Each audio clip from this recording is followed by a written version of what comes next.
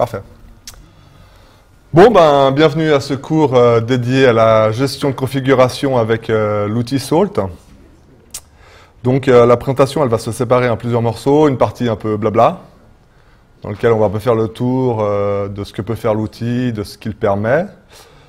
pour ma part, je suis un utilisateur de Salt depuis, je dirais facilement deux mois maintenant. je suis venu à Salt parce que je connaissais Puppet, que j'ai essayé d'installer Puppet dans ma nouvelle entreprise et que, euh, à force de me prendre la tête gravement dessus, euh, j'en ai parlé, quelqu'un m'a fait parler, m'a fait mention de Salt, et puis euh, j'ai testé, ça a été très, très facile, j'ai été conquis, et maintenant je suis là pour vous en parler, pour que vous aussi vous basculiez de l'autre côté de la force, donc du côté Salt. Est-ce que tu as essayé en Ansible dans, tes, quand as testé, Non. Non, surtout que j'ai essayé, c'est Puppet, ça m'a suffi pendant longtemps. Et, en général, euh, parce qu'en fait, ce qui se passe, donc euh, là, où, là où je me trouve, c'est qu'on a vraiment une multitude de types de postes différents. Et puis pour la configuration, pour dire euh, qu'est-ce que j'applique quoi sur quel élément, j'avais l'impression que, en fait, j'avais l'impression que Puppet c'était l'outil qui a été créé il y a mettons, 5 ans, qui, a, réglé beaucoup de problèmes. Et puis quand tout d'un coup tous ces problèmes ont été réglés, il y a de nouveaux problèmes qui sont apparus voilà, ça règle, une partie, donc tout à coup, euh, ceux qui étaient sous-jacents, mais ils ressortent. Et puis, euh, ben, ceci, euh, on a peu l'impression que c'est une verrue sur une verrue. Je n'ai pas trop envie de, dire du mal de Puppet, mais moi j'ai vraiment eu des moments difficiles. Et puis, puis j'allais sur les canaux IRC, c'était bon, bah vas-y, installe IRA, installe, ça, fais ci, fais ça. Et puis après un mois, après trois jours où tu essayes, tu essayes, tu essayes, et puis que ça marche pas, et à un moment donné, tu. Voilà, tu n'as pas de bonne humeur. Et puis, euh, et puis je parlais avec quelqu'un justement qui est développeur Debian, qui me disait qu'il avait vu une conférence Salt dans un, dans un talk de chez Debian. Et puis, euh, puis j'ai essayé. Puis euh, voilà, déjà que je suis un peu une tendance de travailler sur Python plutôt que Ruby. Déjà rien que ça, c'était, j'étais à moitié conquis.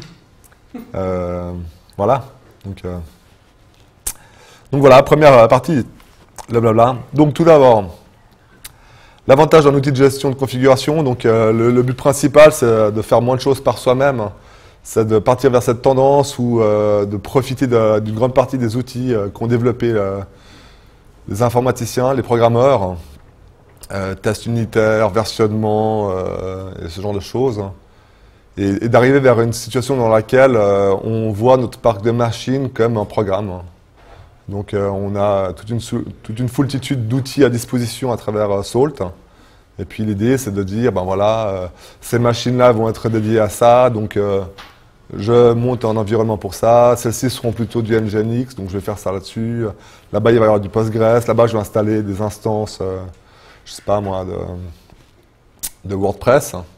Et puis l'idée, c'est de faire une fois le boulot, de le faire bien, et puis, et puis après, de pouvoir créer des machines à la volée ce genre de choses.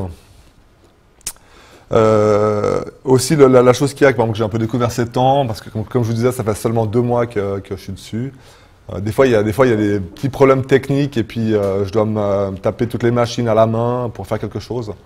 Alors avant, ce qui se passait, c'est qu'on avait créé des scripts en SSH qui permettent de se loguer sur toutes les machines et puis de pouvoir faire, faire des actions. là, dans Salt, ben, ça amène ça. Donc, genre, en plus de faire de la configuration, ça fait aussi shell distribué. Donc, il y a moyen de pouvoir taper des commandes et puis que ces commandes soient exécutées sur toutes les machines à la fois. Euh, ça aide aussi dans, cette mouvance de l'informatique de se dire voilà que finalement en tant qu'administrateur système, euh, on a un seul point central où on a toute notre euh, configuration des machines. Alors ça peut être Salt, ça peut être Ansible, ça peut être Chef, ça peut être Puppet. Et puis en fait, on se rend compte que voilà, le, code qu'on met, les informations, la structure qu'on met dans le répertoire euh, de configuration de Salt ou des autres outils, bah, correspond à la documentation, si on veut, de ce qui est fait. Euh, puis le dernier point, c'est un peu un point encore rigolo. je ne suis même pas sûr comment ça se prononce, ça doit venir de idem, mais idempotence. Donc c'est le fait que euh, si on lance plusieurs fois la commande sur une même machine, on est sûr qu'elle va toujours faire la même chose. Donc ça, c'est l'idée. Alors, euh, cette conférence, euh, je n'ai pas encore eu le temps de la lire, hein, mais je viens de la faire. Donc, critères perso, voilà. Donc, premier point, euh, voilà. Donc, ça, c'est dit. Euh, deuxième point, mise à l'étrier très rapide. Alors ça, franchement, euh, j'avais à l'époque un peu euh, eu des difficultés avec Puppet, mais comme je disais, Puppet c'était le premier outil. Là, en l'occurrence, en- en l'occurrence, pour Puppet, pour Salt, il s'avère qu'on installe le, serveur, on le démarre, on installe le client, on le démarre. Les deux ont des, des, dépôts Debian, donc c'est vraiment simple. Et puis une fois qu'on dit au client que le, voilà, le, serveur est là-bas, on démarre le client, on va sur le serveur, on, regarde quels sont les, clients qui sont connectés à, à cette machine, on dit voilà, on accepte ces clés. Et puis une fois que c'est fait, on est déjà dans un mode où on peut commencer à taper des commandes et puis on peut déjà euh, s'amuser. Euh, voilà, simple aussi, ça vous, vous le verrez un peu vous-même. En tout cas pour ma part, j'ai trouvé très simple, facile de, facile de, euh. Les, premiers pas étaient vraiment très faciles. Aussi, je trouve pas mal aussi, ils sont basés sur pas mal de briques. Euh, par exemple, euh, pour ceux qui ont fait un peu de Puppet, il y a toujours cette problématique de se dire, en fait, mon fichier de configuration, c'est celui-là, mais en fait, pour les machines qui appartiennent à ce groupe-là, c'est celui-là, mais en fait, cette petite variable-là, il faut la changer. Puis là, j'ai trouvé assez intelligent, ils ont repris l'idée de, de template qui existe déjà dans le web, puis ils sont basés sur un outil qui est bien connu, qui s'appelle Jinja 2. Euh, Qu'est-ce que je veux dire encore d'autre Euh, Donc ça, c'est vraiment pas mal. hein. Euh, c'est assez bien documenté. On voit aussi que là, dans le genre, il n'y a pas une refonte totale des documents. Donc on voit que les premiers sont bien, c'est encore une certaine cohérence. Puis à la fin, on a l'impression qu'ils voilà, rajoutent un point 23, un point 24. Puis on sent plus trop où ça va. Mais au final, Google est là, IRC est là. Il y a a pas mal de choses. Les gens répondent assez facilement sur, euh, l'IRC. Euh, j'ai déjà eu j'ai déjà, par exemple, euh, posé un bug, fait une demande de, requête pour une erreur que j'avais dans Salt. J'avais l'impression que c'était une boîte derrière, mais je pense que c'est une boîte. C'était, c'était poussé en deux minutes. euh, c'était pris, vérifié, la personne a écrit du code. Euh, leur système est, basé sur GitHub, donc après il y a une sorte d'outil comme Jenkins qui permet de vérifier si euh, le code qui a été poussé, il est conforme, il n'était pas conforme, elle devait écrire des tests unitaires, elle a écrit des tests unitaires. Puis voilà, à la fin de la journée, j'avais un, j'avais un patch que je pouvais appliquer si je le voulais euh, sur toutes mes machines. Et puis maintenant, voilà, voilà, l'open source quoi. Euh, ouais, aussi ce qui est sympa aussi, c'est qu'il y a des, euh, il y a des petites, euh, il y a une liste de diffusion, mais aussi des choses, des petites vidéos sur YouTube. Ils ont carrément un canal qui s'appelle Salt Air. Euh, c'est sympa, euh, ça permet un peu de se faire un peu une idée des fois. euh, après un mois d'avoir fouillé, on se dit bah tiens, on va faire une petite vidéo, puis on apprend des nouvelles choses, donc c'est assez sympa. Donc comme je disais, c'est basé sur des briques connues. Alors euh, 0MQ, je crois que ça correspond à un système de messaging euh, pour pouvoir parler à pas mal de machines en même temps. Python, ben voilà. Et puis YAML, ça c'est vraiment un, truc que je trouve très sympa par rapport à d'autres trucs que j'ai testés. C'est que, euh, en fait, euh, l'idée qui est sous-jacente dans Salt, c'est que de dire que la configuration au final, c'est que des listes de dictionnaires, de, listes de dictionnaires et euh, peut-être d'entiers de, de, variables. Donc en fait, il y a un langage qui, je sais pas si c'est pas vraiment un langage, mais plutôt un- une description de définition qui s'appelle YAML. Alors je crois que c'est dire yet, int. Donc en fait, ça veut être le XML euh, lisible. Donc c'est lisible. Par rapport à XML, ça c'est cool. Mais bon, ça évite pas de faire plein d'erreurs. Et puis euh, ça, c'est ma petite euh, pique contre, contre, contre, contre Puppet. Voilà, sortie de terminal qui est lisible. Je sais pas si vous avez à faire Puppet, mais quand on lance Puppet la première fois sur un truc, on comprend tout ce qui se passe, qu'il y a plein de messages. On ne sait pas. Moi, je, je trouvais très difficile. Donc là, enfin, une sortie euh, du terminal qui est plus ou moins lisible. C'est vrai qu'en cas de bug, mais bon, je pense qu'à force d'en faire, voilà, c'est sympa. Et puis le dernier point qui, m'a beaucoup plu, c'est qu'il y a moyen de pouvoir faire des parties, comme je vous disais, il y a pas mal de fois, on peut choisir, des, mettons, de choisir, par exemple, Jinja avec un certain, quoi, de choisir pour le templating Jinja, ou de choisir d'autres euh, d'autres outils de templating. Mais il y a moyen aussi de dire, non, moi tout ce que je veux, c'est écrire du Python, et puis les listes de dictionnaires de listes, euh, moi je les fais en Python. Quoi. Et puis ça, c'est une option que j'ai eu à utiliser une ou deux fois déjà, et euh, ça sauve la vie. Quoi. Donc ça, c'est vraiment cool. Tiens, ah, je me suis répété, comme quoi j'ai pas le temps de, de dire mon truc. Ok, ça c'est fait, tac. Donc là, c'est juste les briques de technologie. Voilà, Python, YAML pour la configuration, message pack pour le format de communication avec une parenthèse qui manque, 0MQ pour la communication, et puis AES pour le chiffrement des données entre les clients et le serveur. Donc les communications sont chiffrées. Tac. Alors le jargon, euh, parce que je ne sais pas trop si je vais dire l'un ou l'autre. Donc euh, Salt Master, Master, ça correspond à celui qui est le configurant. Salt Mignon ou Mignon, c'est le configuré. Formula, ça correspond, Formulas, je sais pas comment ça se dit en anglais, ça correspond à des recettes qui sont à disposition sur le net. Mettons, voilà, il y a quelqu'un qui a fait, euh, je sais pas, OpenStack qui me permet d'être une bonne, euh, bonne usine à gaz. Bah, il y a un mec qui a fait, mettons, OpenStack euh, sur Formulas et tu espères qu'en lançant OpenStack de Formulas, magie, tout marche. J'en sais rien. Je me suis pas lancé OpenStack. Toi?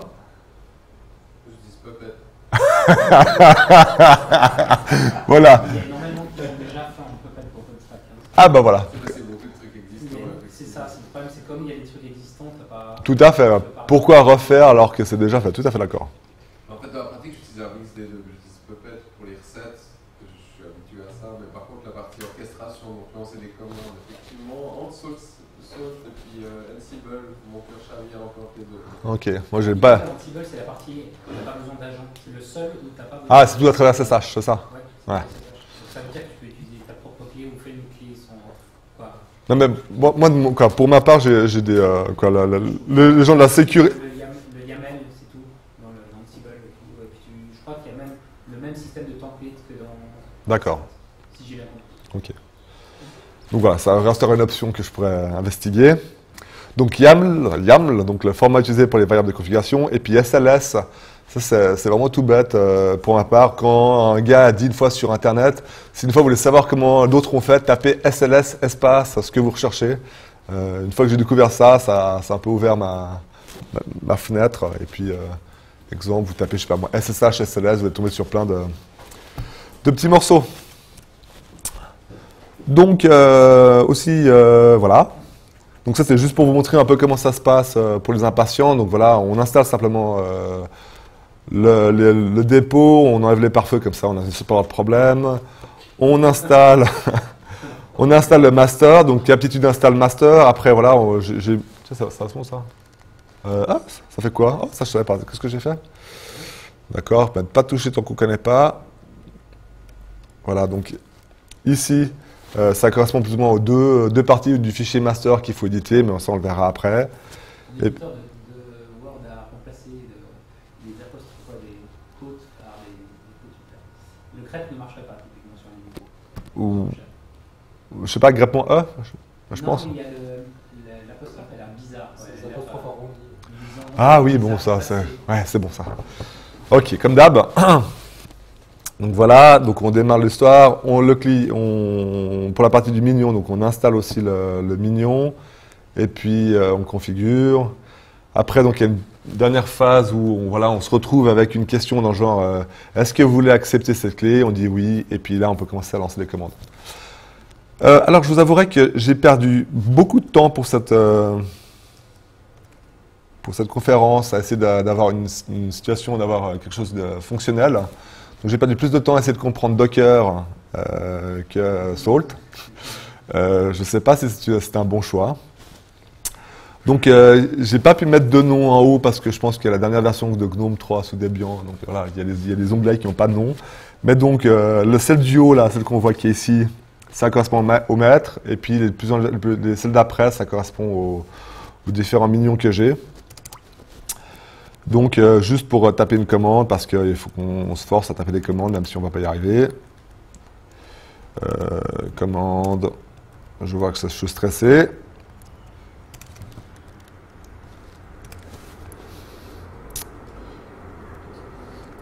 C'est moche, ça répond pas. Ah oui, ça marche, voilà. Ok, ouf. Première étape réussie. Donc voilà, j'ai demandé à- au système de, de- de me faire un ls de slash de toutes les, tous les mignons que j'ai. On voit que j'ai 1, 2, 3, 4 millions. J'ai donc. euh, on va peut-être faire un truc qui est un peu moins verbeux. Euh, host. peu. Ah, je peux faire oui, je peux faire CTRL plus. Ah, mieux comme ça, plus encore? Voilà, tchac.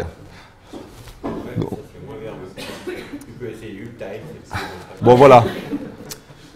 Ok, donc euh, voilà l'idée principale. Alors, je demande le hostname sur chaque million, et puis ben, ça paraît logique. Le, même, le million porte le même nom que sous quel nom il a été enregistré. Et voilà. Ça, c'est fait.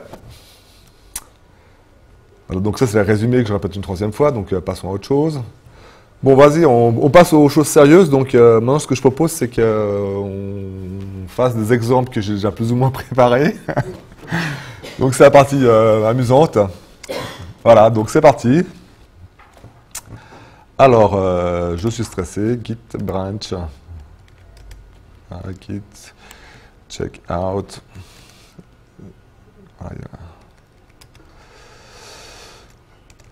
CD. Donc voilà. Donc voilà, là, ça c'est l'exemple le, typique le plus simple. Donc en, fait, si on résume, donc euh,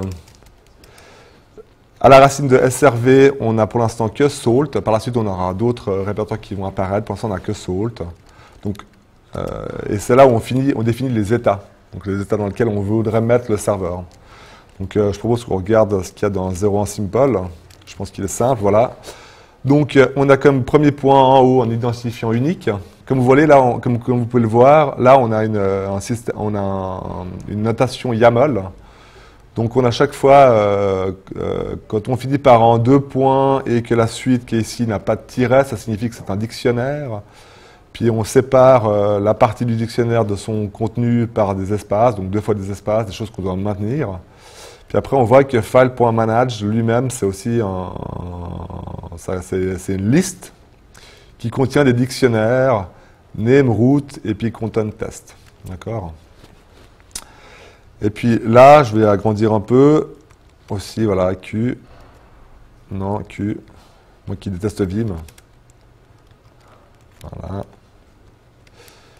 Donc maintenant, si je fais salt, euh, je sais pas moi, mignon, bip, euh, state.sls, et que je vais faire 0 en symbole, youhou, Donc c'est plus rapide sur les machines puissantes. Hein. Euh... J'aimerais bien que ça marche. Hein.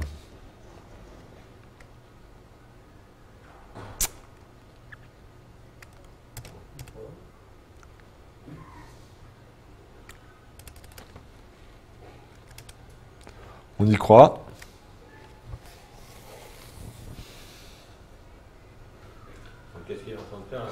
Bah là, normalement, ce qu'il devrait faire, donc c'est une idée ça. Donc ce qu'il devrait faire là, c'est qu'on définit que dans l'identifiant unique, là je m'identifiant unique, mais en l'occurrence on pourrait mettre euh, Toto ou Tata.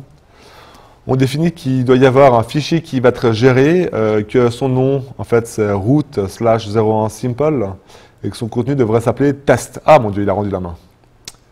Donc euh, hop là. Donc on voit que ça c'est un des points que je trouve sympa. Donc on voit, ce qui a été fait. En général, quand c'est bleu, ça signifie, ou c'est chiant toute la couleur, hein. quand c'est chiant, ça signifie que ça, a été effectué et que ça a réussi. Et euh, lorsque c'est rouge, euh, ben, que ça n'a pas marché. Maintenant, si je vais ici sur la machine, je vois que j'ai bien un fichier 01 simple avec dedans. Ah, il est vide, c'est bien, ça apprendra de n'importe quoi. Malheureusement, vu que j'ai pas le net, je peux pas vraiment voir à la volée, mais c'est vrai que je ne suis pas sûr qu'il y ait l'option content dans. Euh, toi, tu sais par hasard L'un de vous sait Si l'option content dans, euh, file.manage Je crois, mais je suis pas sûr. Bon, donc, nous ne pouvons pas aller sur Internet, donc je peux pas vous le dire, mais donc il y a moyen de pouvoir créer un fichier et de mettre un contenu. Et puis là, ce qui est amusant, c'est que si je relance la commande, en espérant que ça prenne moins de temps, euh, cette fois-ci, euh, la sortie va passer en vert et euh, ça prend un temps fou. Et voilà. Ce que je propose, c'est qu'on a, en attendant que ça se fasse, on, est-ce qu'il y a un point suivant que, voilà. Donc voilà, c'est ce que je disais. Lors du premier lancement, les sorties sont en bleu parce qu'il y a justement des modifications qui ont été faites. Et puis la seconde fois, la sortie est en vert. Donc Rien n'a dû être fait pour ça. Donc c'est le côté idempotent, n'est-ce pas? Ok.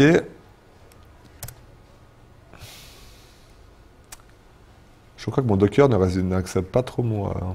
c'est vraiment. C'est un peu gênant ça.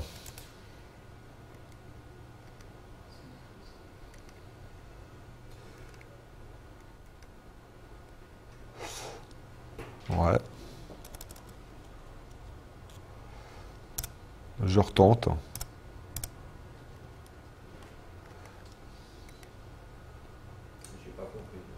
Qu'est-ce que tu as pas compris? Moi, j'ai pas compris non plus comment j'ai pu euh, perdre euh, la commande que j'ai lancée avant. Bah, moi, j'avais une commande là. Là, j'avais une commande euh, Salt que j'avais lancée. Si je m'abuse. Ah oui, bah attends, je suis. Non, non, c'est correct. Ouh là, je suis à côté de la plaque. Non, non, ça, ça a marché. Waouh, je suis bête, c'est vert. Donc ça a marché, superbe. Ok. Bah c'est toujours aussi lent. Ok. Alors maintenant, ce qu'on va faire, c'est qu'on va passer à l'étape d'après. On va essayer de compliquer un peu euh, cette histoire de-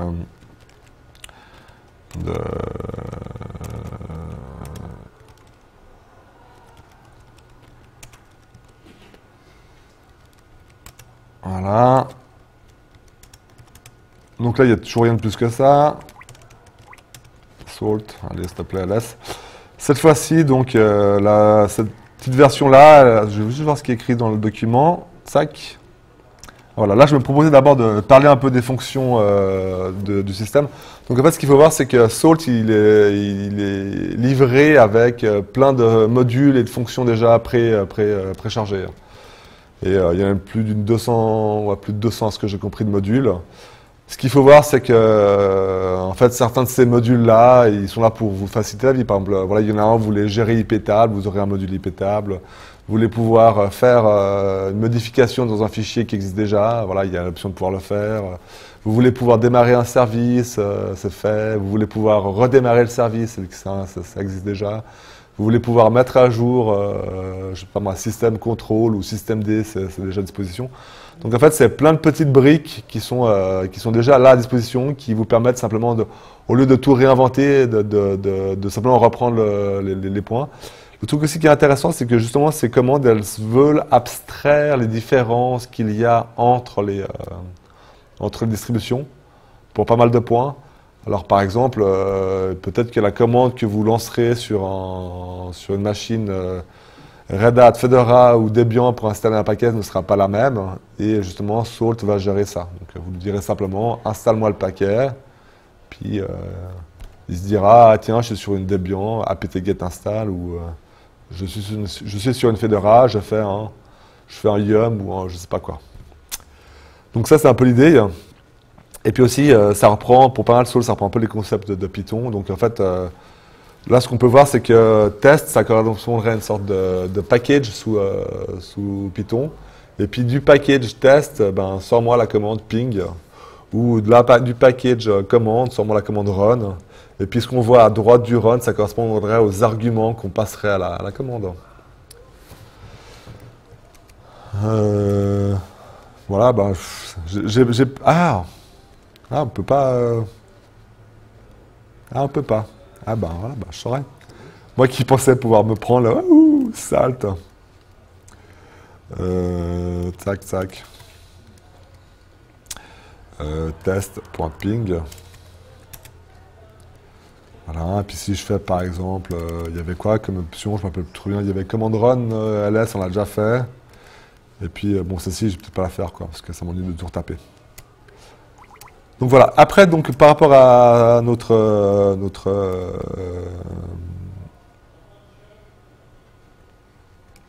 voilà. Après, par rapport à notre euh, nos, nos démarches, non, je propose qu'on qu'on regarde justement le plus compliqué qu'on a maintenant là. Donc euh, voilà, 02 simple.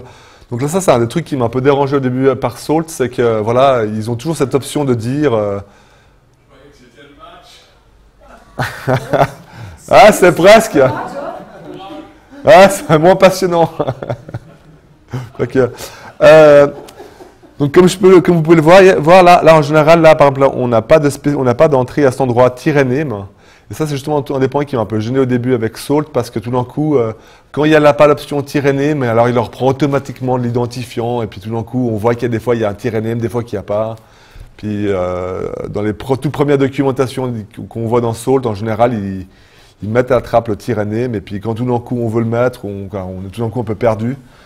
Donc euh, je vous rends attentif à ça. Donc là, simplement, si on lit, voilà, simplement ce que je vais faire, c'est que je vais faire euh, deux fichiers. Je vais en faire un qui s'appellera euh, route02 simple et l'autre qui va s'appeler euh, route02.1 simple et l'autre route02.2 simple. Donc essayons, peut-être avec une machine peut-être plus rapide. je vais des trucs web state.sls et puis là on va taper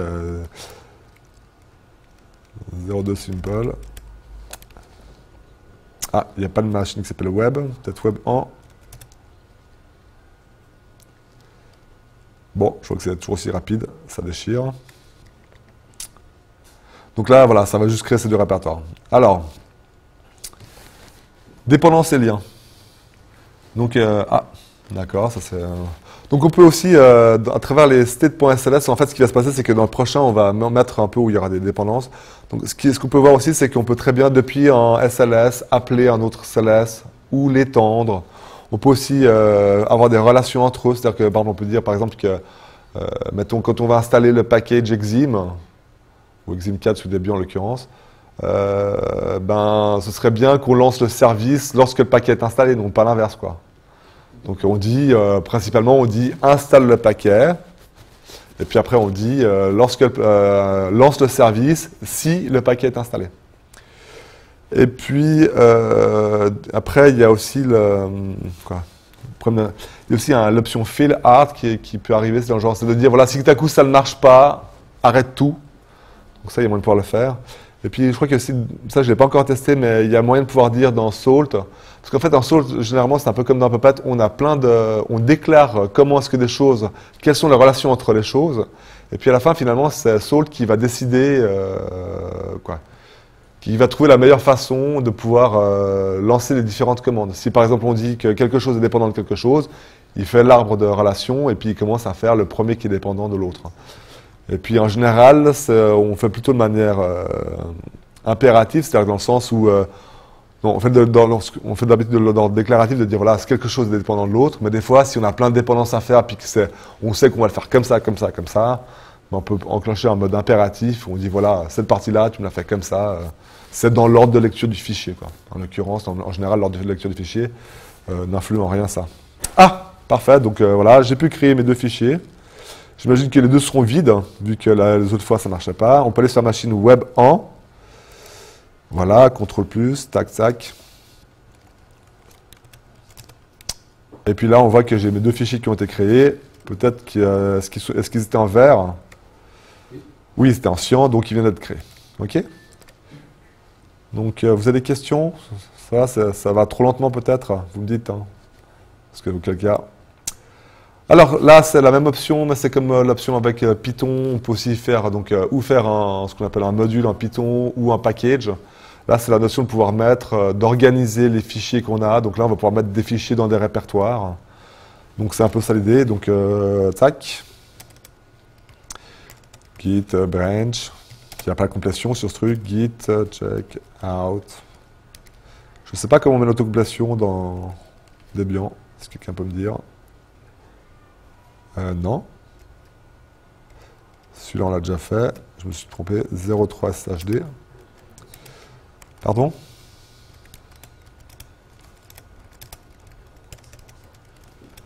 Donc voilà, là, cette fois-ci, on a, on, a, un répertoire au lieu d'avoir un SLS. Et puis quand on fait un find, on voit que euh, le, répertoire est composé euh, d'un fichier init.sls. Donc ça correspond, si on veut, à l'initialisation du, du module. Alors, euh, regardons ce qu'il y a dedans. Donc, dans 4init.sls, on voit bah, justement, là, on va essayer de monter euh, un serveur SSH. On spécifie qu'on veut installer, euh, qu'on veut installer, qu'on veut le paquet qui soit installé. On spécifie la liste des paquets. Là, c'est étonnant, je me trompe à chaque fois. Là, c'est names, donc c'est une liste qu'il faut donner. Donc, on dit qu'on veut un SSH serveur. On dit qu'on veut un service qui doit tourner, qui doit être actif au démarrage. Euh, et puis que pour pouvoir euh, le lancer, il dépend de package SSH. Euh, Donc ça, ça paraît logique.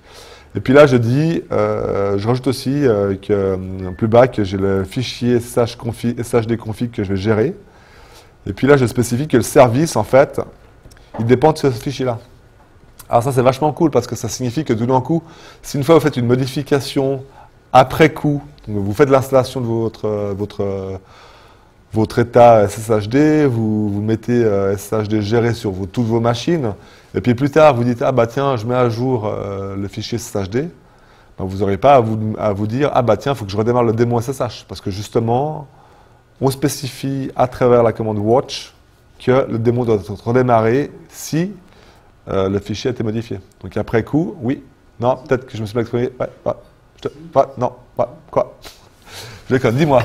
Euh, si tu veux appliquer qu'une partie de, comment ça s'appelle, les recettes, euh, Ouais. mais pas tout, faut pas faire, est-ce qu'il y a un concept de tag Dans Ansible, on peut mettre des, des- des tags et dire que par exemple, tel et tel, j'ai modifié par exemple le SSH, j'ai fait un tag SSH, tout ce qui concerne SSH va être déployé sur la, sur la totalité des, des machines.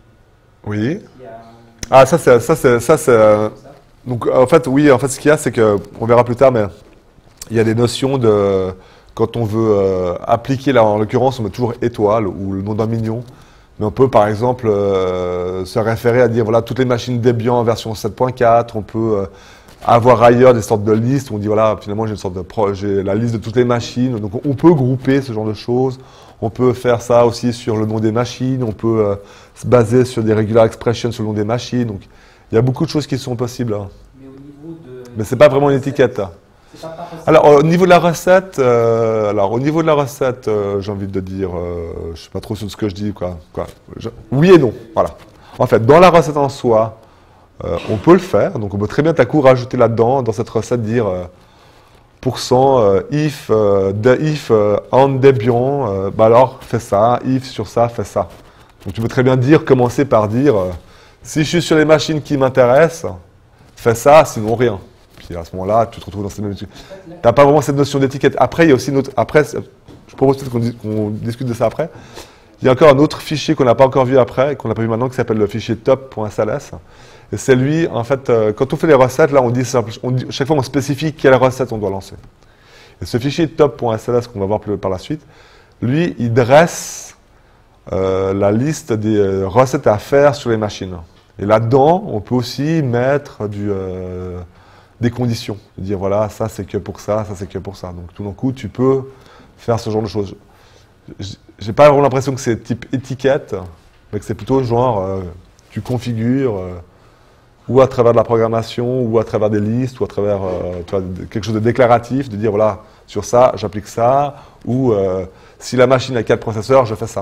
En fait, ça vient d'une problématique, c'est que, par exemple, typiquement en Puppet, quand on, on fait plein de recettes pour euh, petit à petit pour une même machine, au bout d'un moment, on a tellement de recettes que ça prend tellement de temps de déployer des quoi, de, de homogénéiser, il va revérifier que tout est, D'accord est, euh, conforme en fait. D'accord Donc en fait, dans, dans Ansible, ils ont fait des tags. On peut dire, euh, ça sert à rien que tu vérifies que tout est homogène. Je vais de Ah, ok. dessus. Et en fait, on met des, des tags. Oui, je comprends. Tu veux dire par là, genre, ne, ne, ne- Disons que j'ai modifié la recette SSH, euh, au lieu de, de redéployer, vérifier la conformité de la totalité de toutes mes, mes recettes, on peut dire je veux, dé- je veux déployer le- les recettes qui ont le tag euh, XY que j'ai défini moi-même. Comme ça, a priori, ça je- permet de restreindre le scope de ce qui doit être mis à jour. Donc là, là, là, je, je, maintenant, je ne peux pas te répondre de manière affirmative, mais l'impression que j'ai a priori, c'est que tu pourrais très bien, par exemple, créer un fichier SLS en disant, par exemple, groupe de machines qui m'intéresse. Et puis pour ce groupe de machines-là, tu définis la liste des states pour lesquels tu dois faire quelque chose, puis tu dis, voilà, invoque-moi ça. Tu fais un truc spécifique pour euh, Voilà. que tu dis, voilà, je fais ça pour ça. voilà, je, je, je suis pas. En l'occurrence, ce qui se passe, c'est que moi, dans mon cas, c'est que, bon, peut-être que j'ai. Comme je disais, ça fait à peine deux mois que j'en fais. Donc, j'ai pas. euh, donc, en fait, ce qui se passe souvent, c'est que je teste une recette, et puis à la fin, je dis, j'applique cette recette sur ces machines, puis je le fais, je le fais, je le fais, je le fais. Puis quand je suis sur mon truc, puis je me dis, ok, je déploie, ben, je dis simplement, au lieu de faire que la recette sur ces 5 machines, je le fais sur toutes les machines.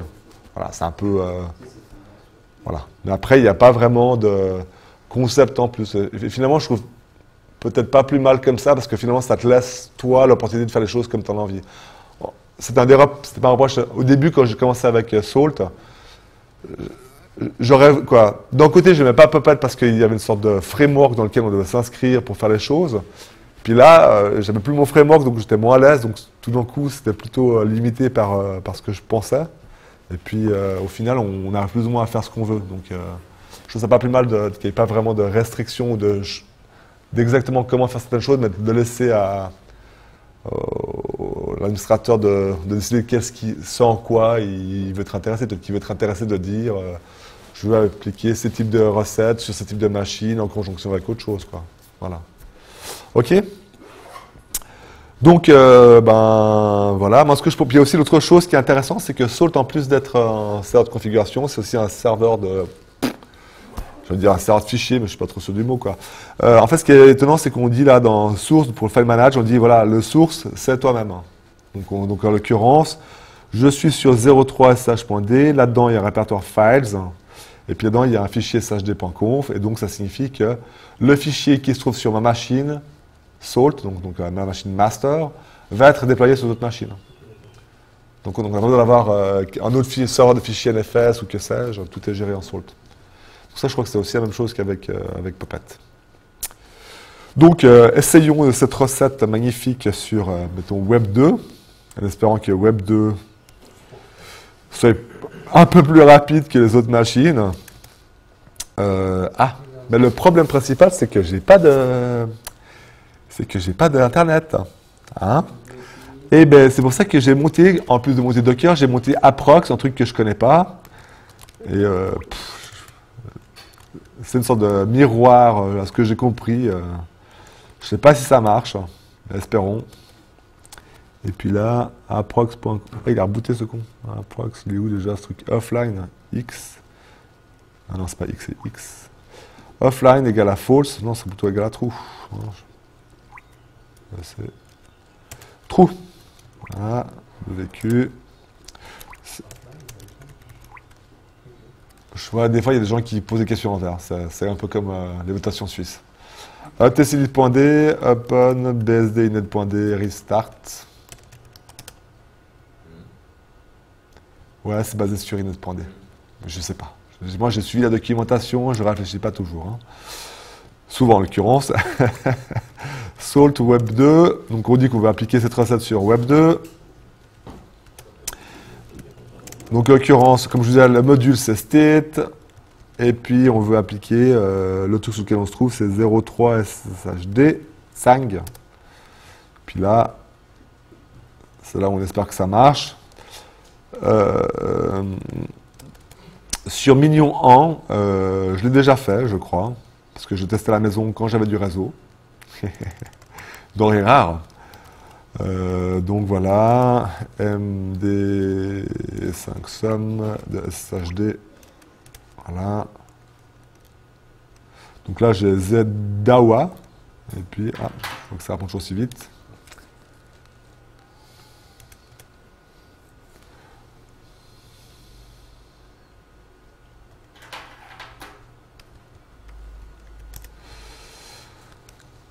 MD5 sum euh, de files. Et là, j'ai DAWA. Donc, euh, ça avait eu marché. Donc, on... MD5 sum, ça va? Tu sais ce que c'est? Non. Ouais? Ok. c'est une façon un peu euh, minimaliste de voir si le fichier est le même. Bon, j'espère qu'il me rend la main, mais... J'ai fait FG. Ah, j'ai fait le background. FG. Ça marche, ça Moi qui suis une pin en... Ok, donc ça c'est fait, on attendra, et si ça marche, on espérera qu'on va pouvoir modifier le fichier files. Peut-être que ce qui se passe, c'est que justement, vu que c'est des var log, il doit y avoir un truc là-dedans. Pas sûr que ça marche mon truc d'approx. Il y a un truc approx là-dedans? Non. Ah. Dans DPKG, tu penses Non, mais c'est 8h23 d'hier. Non, mais je pense qu'il. Là, on est dans la machine à prox. Là, dans la machine de. Parce que j'ai dû monter des dockers de Minion, des dockers de Salt et des dockers pour faire semblant d'avoir un miroir Debian. Bon, ben, on dirait qu'il y a une brique qui n'a pas dû marcher, quoi. Il y a une brique qui ne marche pas, c'est évident. ok. Donc ceci dit, donc euh, en fait, euh, quand, ça, quand ça a vraiment planté, ouais, bah, je pense que ça plante maintenant parce que ça, ça me gave. Euh, on essaie peut-être de refaire ça sur euh, Mignon, tout court, qui a lu déjà le paquet. Donc euh, peut-être qu'il va aller tout droit. En espérant. Puis en attendant, bah, on va lire ce que j'ai écrit. Hein, Simple.d. Donc là, en l'occurrence, c'est comme les Python. Donc on, a construit un module. Le point d'entrée du module, c'est init.sls. On a pu rajouter des dépendances entre le service et l'installation du paquet. C'est justement ce que je mettais avant. Là, il y a des include, des extend, des require, des watch. Personnellement, à part euh, watch et require, je, sais ce que c'est, et include. Le require in, watch in, je sais pas ce que c'est, j'ai jamais utilisé, mais j'imagine que ça doit être utile. Il rend toujours pas la main. Alors, découverte des grains. Alors ça, c'est justement un point intéressant. Donc, euh, quand on a un mignon qui tourne sur une machine, ce qui se passe, c'est qu'elle récolte des informations sur la machine. Et puis, elle te dit, euh, style, je suis une Debian, je suis une version 7.4, euh, j'ai des a priori, Debian, c'est la meilleure distribution. euh, il te dit le nombre de cœurs que tu as, la mémoire que tu as à disposition, ce genre de choses. Et puis après, ce qui se passe, c'est que ces, grains, en fait, ils appellent ça un grain parce que c'est ce qui porte en grain d'information. J'aime bien les concepts. Ah Ça a marché, mon truc. Donc, euh, qu'est-ce qu'on voit? On voit que le fichier SHD Manage, euh, il a été... euh, il n'a pas été modifié. Mais que, euh, en l'occurrence, le service a redémarré. Bon, bah... euh, c'est pas hyper euh, classe. Essayons de le relancer. Peut-être que cette fois-ci, il va pas redémarrer le, ser- le service SSH. Peut-être que j'ai un truc qui m'a échappé. Et puis donc par rapport à cette sorte de grains, donc en fait on, a pas mal de grains à disposition. Ce que je vais faire juste après, c'est que je vais vous taper les commandes la salt, la machine grain.ls ou grain.items. Comme ça vous pourrez voir la liste des, des grains qui est à disposition. Euh, je crois qu'on peut aussi éteindre le nombre de grains si vous avez des grains. euh, je sais pas, par exemple, si vous avez plusieurs sous-réseaux, peut-être que vous pourrez récupérer ce genre d'informations. Peut-être modifier le salt. Alors, BG, et puis euh, donc salt, peut-être que ça marchera mieux. Salt, euh, mignon, web en greens.ls. Voilà. Ouf, bah parfait, on a reçu les deux en même temps. Ça c'est fait. Euh, donc si je reviens au greens.ls, on voit la liste des grains que j'ai à disposition, plutôt leur nom. On ne voit pas leur leur valeur. Donc on voit qu'on peut par exemple récupérer le, type de CPU, euh, le domaine, le nom du host, euh, les adresses IPv6, euh, ce genre de choses. Tout ce qu'il faut pour se prendre la tête. Et puis en même temps on reçoit la réponse du mignon qui dit que la dernière fois il ne s'est rien passé, le fichier sht.config n'a pas été modifié et le service SSH tourne et n'a pas été relancé. Donc euh, soyons fous, euh, modifions le fichier euh, files shdconfig, prenons une option bol. J'adore dire bol, je l'ai choisi. Qu'est-ce que j'ai fait? Je déteste Vim. Voilà. Voilà. Et puis là, je relance ma commande. Attends, je vais faire, je vais faire deux choses. Je vais lancer la version items. Et puis, je vais lancer l'autre en même temps. Voilà, tsac. C'est ce qui prend plus de temps. Donc là, on voit, c'est la même commande que j'ai fait avant avec euh, webgrams.ls, à part que c'est .items. Cette fois-ci, on a les valeurs qui sont retournées par le système. Donc euh, après, on pourra se baser là-dessus pour euh, faire des bifurcations, faire des if, des if et puis des else et des for. Quoi, tout ce qu'on aime, quoi. Ok.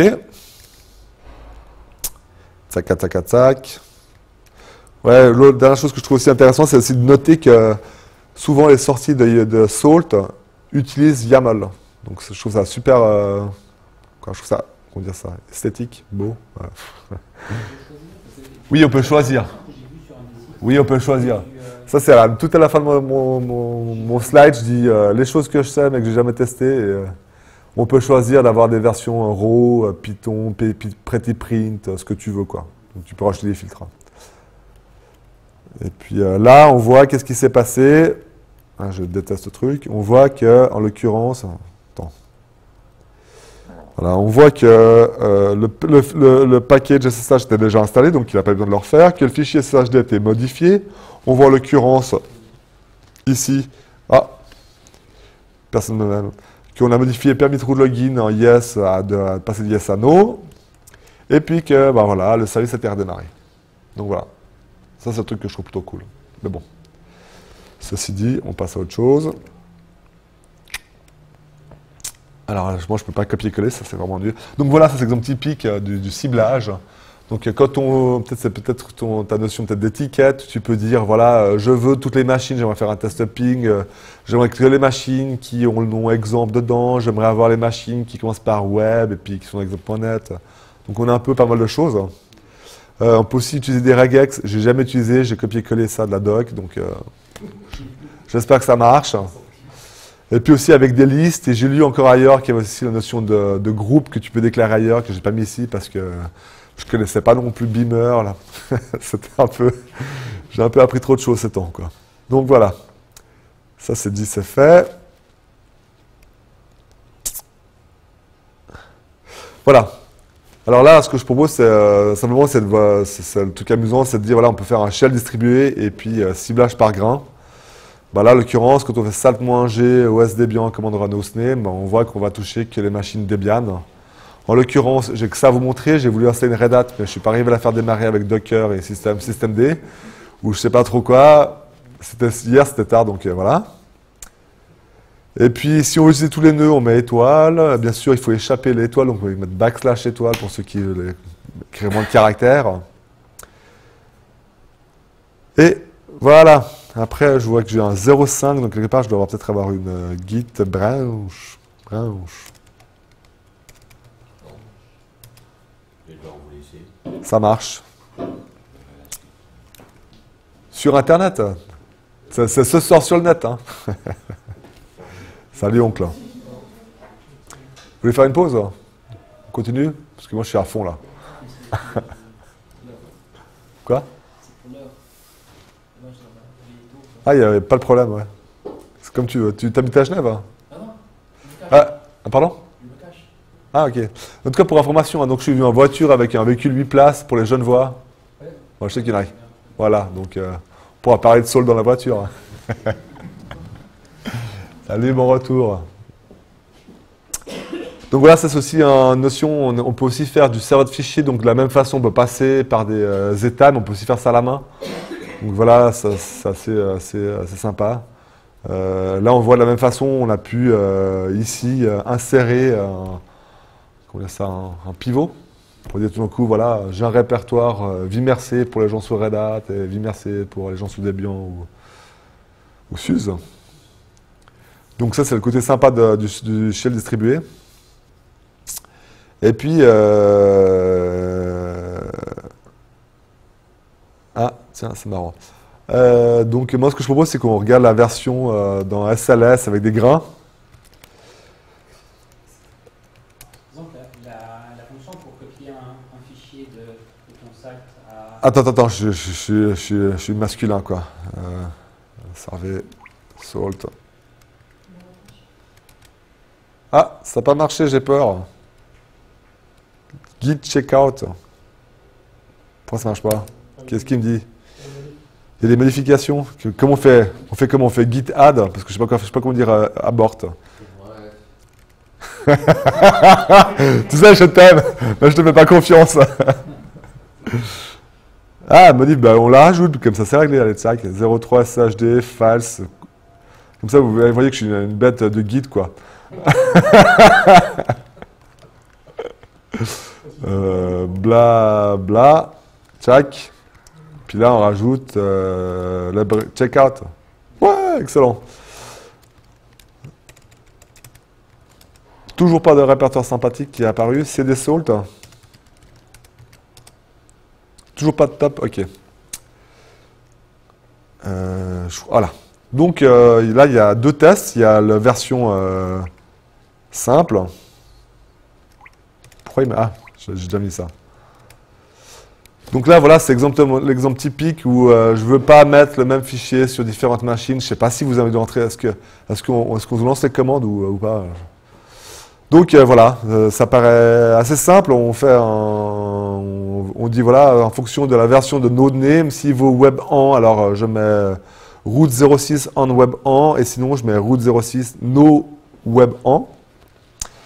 Et puis, euh, vu que j'ai déjà fait ça partout, étoile, euh, tac, tac, tac, je vais jamais arriver. Ah, les claviers, si on pouvait plus sans.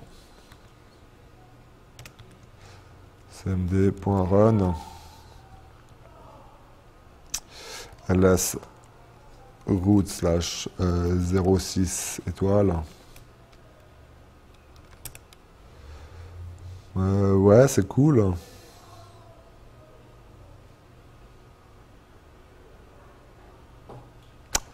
Moment de solitude.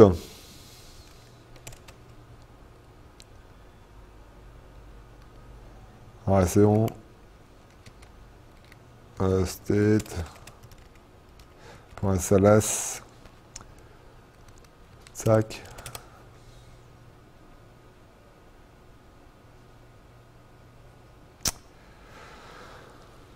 Donc voilà.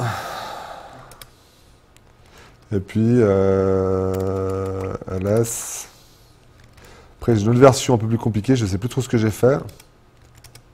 Ah voilà, là je vous montrais simplement. euh, ce qui est intéressant, c'est que euh, autant cette sorte de templating qu'on a vu là, on l'a autant dans, euh, dans, les, euh, dans les, euh, les SLS que dans les fichiers.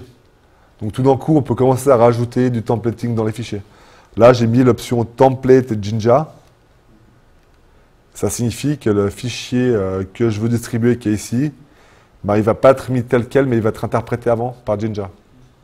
D'accord? Donc euh, tu peux... euh, Oh Parfait. On n'y croyait plus. Peut-être que le commande va mieux marcher maintenant, l'autre, ceci là. Peut-être que j'avais mal tapé. Voilà. Et puis là, ah bah nickel, on voit que sur web en, on est bien sur web en. D'accord, d'accord? Et puis, euh, puis voilà. Puis là, pour l'autre, là, pour le files,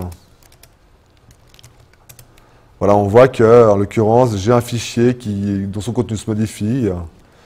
Et puis, euh, cd euh, salt, ls salt, étoile state.sls de machin truc qui s'appelle blabla. Ah non. Voilà, comme ça. Euh, ouais, ça c'est parce que je lancé deux fois.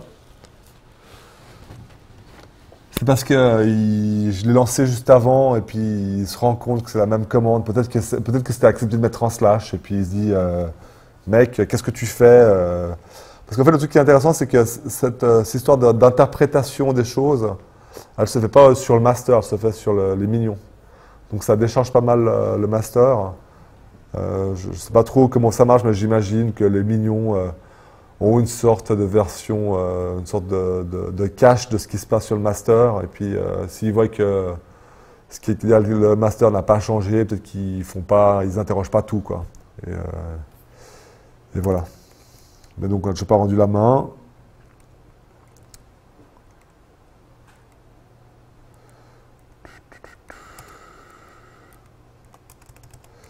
Ok, on avance?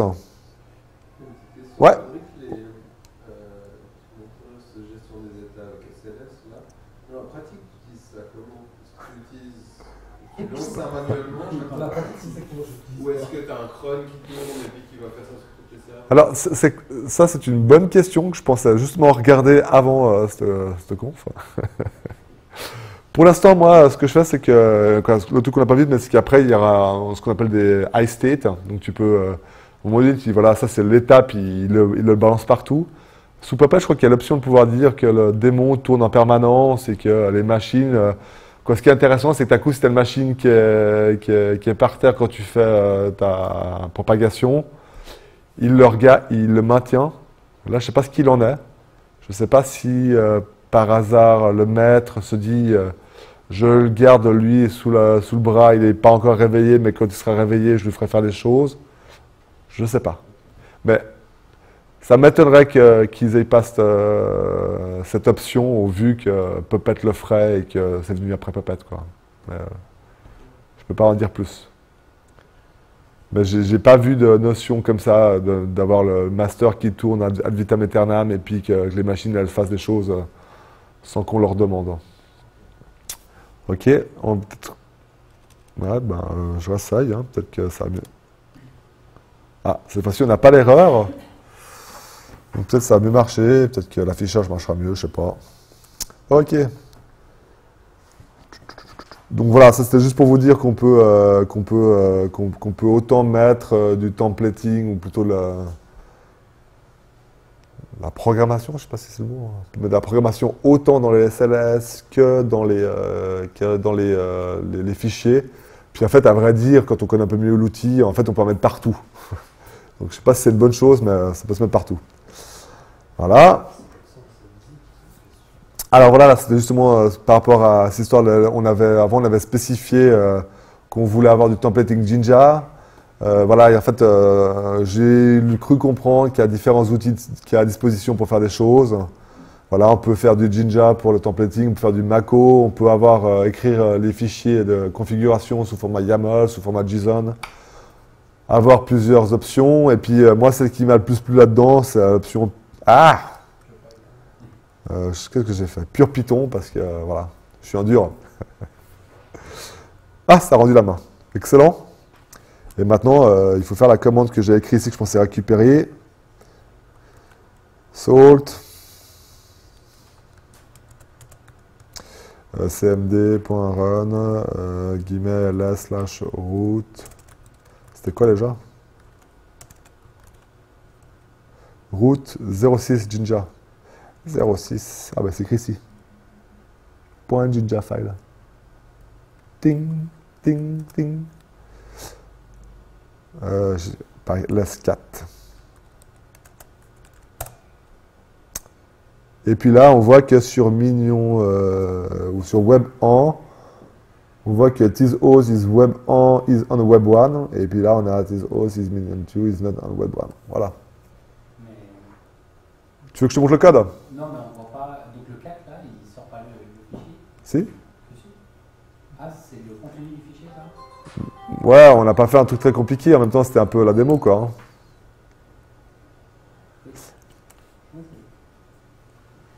On passe à autre chose.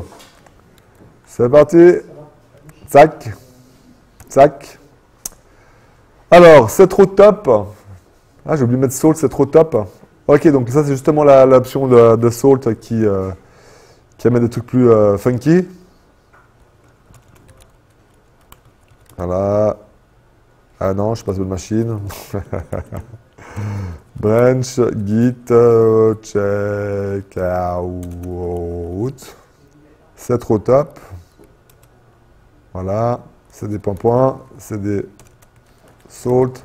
Et cette fois-ci, oh, c'est le bordel. Ah ouais, il y a pas mal de choses. Hein, ça, ça vient, on devient des durs, quoi. Alors maintenant, ce qu'il y a, c'est qu'il y a un fichier top SLS. Ça, c'est quoi, c'est WebSL aucune idée. 4. Top SLS.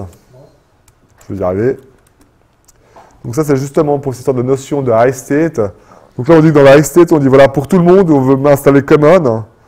Pour les gens du web, on veut installer web. Et puis pour les gens sous OS Debian, on veut installer Debian.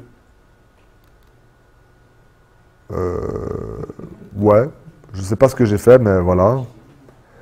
Match Grain Debian, hein, pense que- je pense qu'il y a... Ah, ok. Donc voilà, là on comprend un peu mieux quand on fait ça. On voit que tout d'un coup, donc, pour tout le monde, je vais installer le fichier common.sls.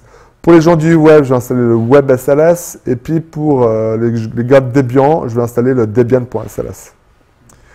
J'avais dans les... Ouais, ça j'avais déjà dit que j'essayais de faire du Red Hat, mais ça marchait pas, donc je vais sauter la situation. Et euh, donc maintenant, si je fais... euh, Ah, mais ça, ça n'a rien à faire, ce 06 là. Ok. Voilà, RM. Je ferai ça plus tard. On va pas faire de RM maintenant, c'est trop dangereux. Donc git, tac, étoile. Là, il y en a pour 3 jours. Euh, state. Point I state. Euh, quoi? Non, pas git. Euh, escape. Ah non, pas ça, pas ce truc. Salt.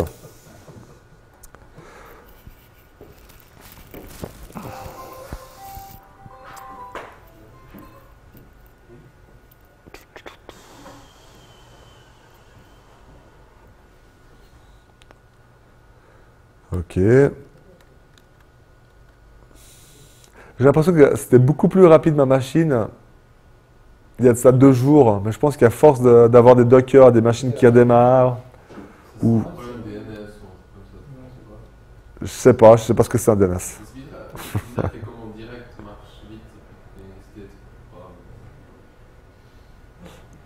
Ouais, puis ça marchait bien quand j'avais du réseau. Donc peut-être c'est une question de DNS, ouais. J'aime- Belle analyse. Belle analyse.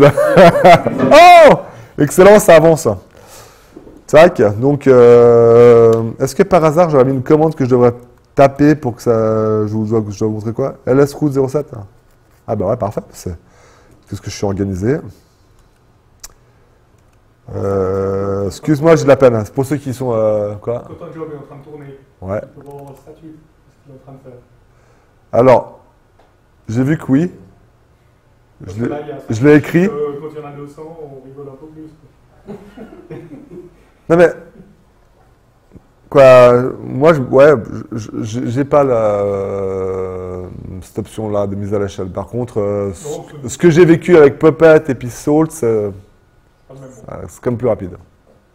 Après, euh, pourquoi, comment, je sais pas. Et puis là, comme je te disais, tout autre sur ma machine, hein, donc euh, euh, c'est pas, pas un foudre de guerre. Donc si tu veux cotiser, tu es la bienvenue. Ok, attends, il y a des bêtises. Salt, commande, voilà. Alors, salt, euh, tac, tac, tac, commande.run, ls slash route slash, c'était 07 étoile, hein. Et là, on voit que sur, euh, j'ai installé du Debian et du Common, j'ai installé du Web et du Debian, voilà, donc ça a tout marché. Je voulais juste vous montrer que ça marche aussi sous, euh, que ça installerait pas Debian sur euh, du pas Debian, mais j'y suis pas arrivé. Ok rm.fr 206, ça n'a rien à faire ici. Sac. Git status.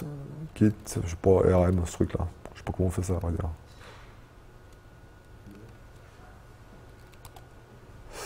Git status, git commit, -m,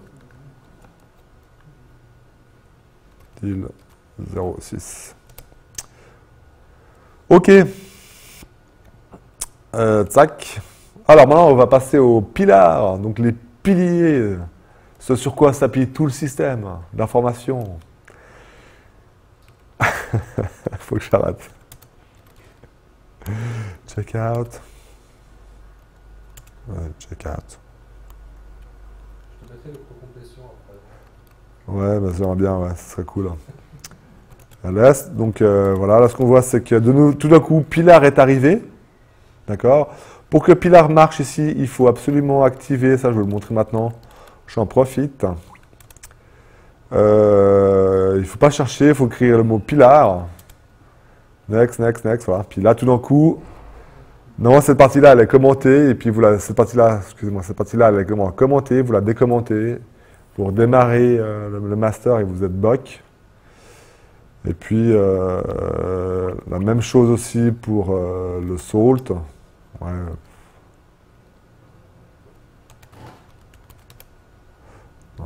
Passons à autre chose. Donc ça c'est fait. Euh, Qu'est-ce que j'écris? Voilà, donc on va, on va partir avec un truc simple. Pilar.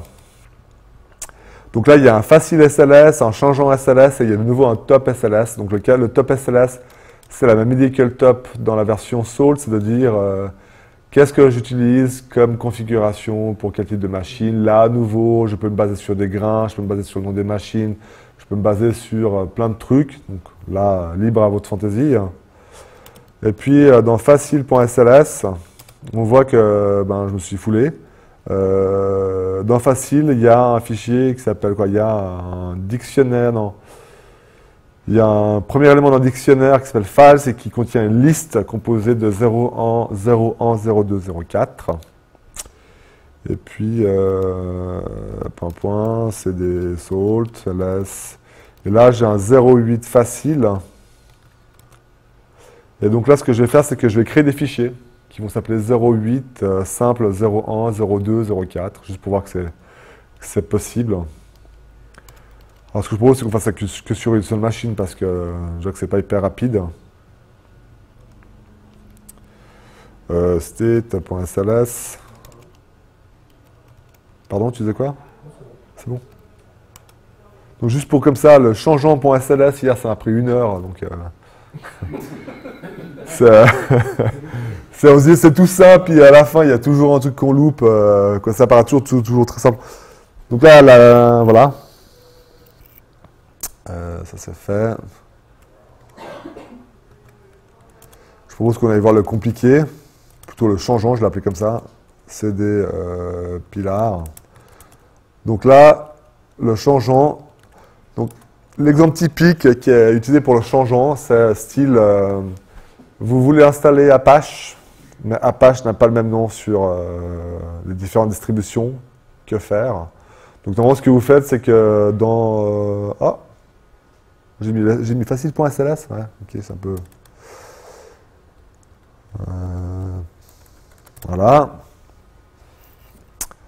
Euh, donc, exemple typique, vous avez ça, vous voulez pouvoir dire, je veux installer ce package. Donc, normalement, ce que vous faites, c'est que vous faites installer le package, puis vous, vous mettez l'option "-names", mais l'option "-names", vous l'entourez en haut et en bas en disant, euh, si je suis sur Debian, j'installe la page 2, si je suis sur Red Hat, j'installe HTTPD. Et là, l'idée, c'est plutôt de mettre cette partie de la configuration-là dans Pilar, et puis après, euh, de pouvoir rappeler, euh, donc de dire dans Pilar, euh, le nom du package Apache sur Debian s'appelle HTTP, Apache 2 et sur l'autre s'appelle- s'appelle HTTP. Et puis, dans l'appel de, l'installation du paquet, on dit simplement, on veut installer le package Apache tel que décrit par Pilar. Donc voilà, on voit qu'il a, créé les fichiers euh, 08 simple, machin, machin. Si on va dans route, je suis sur Mignon là, donc on voit que j'ai bien créé 07, 08 simple 1, 08 simple 2 et 08 simple 4. D'accord? Donc euh, c'est plutôt cool. Et puis euh, là, de la même façon, euh, quand on fait en changeant, donc vous voulez qu'on le- qu'on l'exécute? Je pense que vous avez compris. hein. Non mais vous me dites hein, ça vous fatigue quoi. C'est bon? On passe à la suite, vous avez compris? Ouais? Je pense à point, oui. Ok, tchac. Alors, Shebang. Tiens, il devait y avoir quelque chose dans, là dans Shebang. Test 2. J'ai rien écrit pour Shebang. Euh... Non, j'ai rien écrit. Comme quoi, il faut juste que je le fasse. Ah, c'est ça. Je sais pas. Kit euh, branch. Donc ça, c'est la, ça, c'est la version ardue. C'est ce qui m'a bien pris la tête euh, à mon boulot. C'est que je me suis dit, euh, il faut y aller à fond. Et puis, euh, je, voilà, je me suis mis à fond.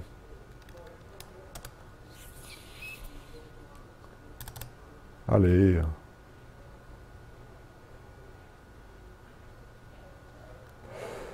C'est la mort, hein. Donc euh, voilà, ça change totalement. Donc euh, là, l'exemple typique, c'est euh, voilà, chez mon boulot, j'ai des types de hosts. Donc euh, vous, juste pour vous, vous, vous, expliquer un peu la situation. Donc euh, à mon travail, on a différents groupes euh, qui gèrent des machines. Et puis certains groupes ont certains types d'emails, certains groupes ont certaines personnes. Certaines personnes ont certaines adresses IP, certaines adresses personnes ont plusieurs adresses email. Il faut que les gens soient au courant lorsque les gens sont responsables de leur machine. quoi. C'est un peu le bordel. Et euh, donc, euh, je suis parti sur l'idée de créer un user group. Alors, ce que je propose, c'est qu'on va, on aille voir vite des users. Donc euh, voilà, en l'occurrence, vous, Gilles Vauvarin, on voit son full name, son adresse email et sa liste de clés SSH. Donc on voit qu'il a une clé SSH qui a l'étiquette 2013. Et puis, qu'est-ce qu'il y a encore d'autre? Je crois que c'est tout. Après, il y a une notion de user group. Donc, euh, exemple typique, euh, dans le groupe Unix, eh ben, il y a des gens qui y bossent et j'y bosse. Et euh, le groupe a aussi une adresse email à attribuer. OK Et puis, euh, après, il y a un truc qui s'appelle hostconfig. Donc, l'exemple typique, c'est... attends.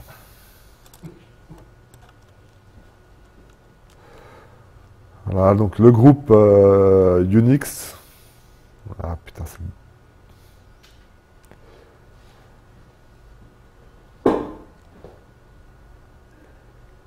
Pense pas points. Est-ce que je vais y arriver sans tout péter Voilà, donc euh, j'ai créé des groupes. Le groupe Unix, on voit que la liste des routes, des, personnes qui se connecter en tant que route, c'est les gens qui appartiennent au groupe Unix. La liste des personnes qui doivent recevoir des emails, c'est la liste des gens qui sont donnés par le groupe Unix. Mais par contre, dans les gens de DBA, on voit que euh, les gens qui doivent se connecter sur ces machines-là, c'est le groupe Unix, le groupe DPA, c'est le groupe SAP. Et puis euh, les gens qui doivent recevoir des emails pour cette machine-là, ce sera le groupe Unix et le groupe DBA. C'est un peu le bordel. hein. Et puis- Euh, c'est parce que euh, je suis une pile en programmation et qu'en général, lorsque j'ai un dictionnaire, je commence par un D et quand j'ai une liste, je commence par L. Voilà, c'est juste un mémo technique. Et puis après, ben, c'est l'instanciation-. Donc je dis, euh, la machine Jira testée, elle doit avoir hausse DBA. Et quand on voit là-dedans, on tombe sur la machine tout en haut qui est Mignon. Parce que j'ai dû rajouter Mignon, j'imagine tout en haut parce que je sais que je l'ai testé. Voilà, Mignon 2, elle appartient au type hausse config. Et puis là, ce qui est cool, c'est que quand tout d'un coup on va dans Salt et qu'on va dans un truc hyper simple comme la gestion des emails. Donc dans init.sls, là en l'occurrence, on voit que si je suis en mode Debian, je dois installer Email Smart Host version Debian. Donc c'est-à-dire, euh, ces machines Email Smart Host, ça veut dire juste dire que euh, les machines, elles font que prendre les emails et puis les balancer plus haut. hein. Donc on peut les voir à quoi ressemble le Smart Host Debian, par exemple. Euh, 4 Debian. Donc on voit, euh, ça devient un peu plus compliqué. On voit que j'installe Exim 4, que j'en euh, service, que je regarde que Exim 4 dépend, il doit, il doit se relancer s'il y a des choses qui sont modifiées, en l'occurrence euh, la mise à jour de Update Exim. Donc si à coup je mets à jour de Exim, ça se relance. Et puis j'ai aussi un système pour, que lorsque les machines s'installent, automatiquement, lorsque le mail est configuré, ça envoie un mail de base à tous les gens qui sont configurés dessus, et puis disent en disant voilà, euh, si votre machine est installée, euh, votre machine est installée, et euh, vous recevrez des emails dorénavant, vous serez esclave de cette machine. Donc voilà. Et puis là-dedans, ce qui est cool, c'est dans le cadre tinit.sls, euh, dans Debian.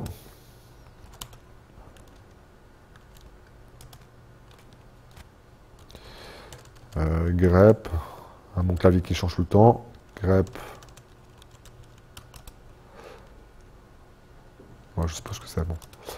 Donc dans alias root, donc là, la, alias root.sls, c'est la version dans SLS, mais version Python. Donc euh, là, c'est ça, là. Donc là, vraiment, j'ai un programme avec euh, des fonctions qui dit donne-moi la liste des emails pour un username, donne-moi la liste des emails pour un user group.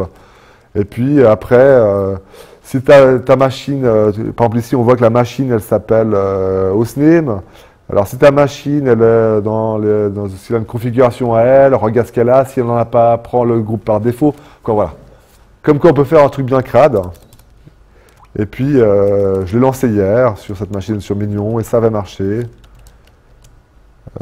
Tiens. Non, c'était pas sur cette machine sur laquelle j'avais lancé ça. C'est aliases, je vais y arriver. Voilà, donc euh, contrôle plus.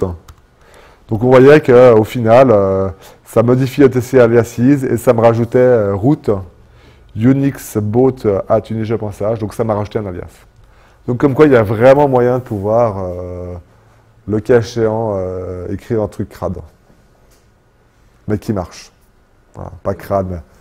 Donc euh, là, euh, j'aurais pas pu faire autrement. Après, je- voilà.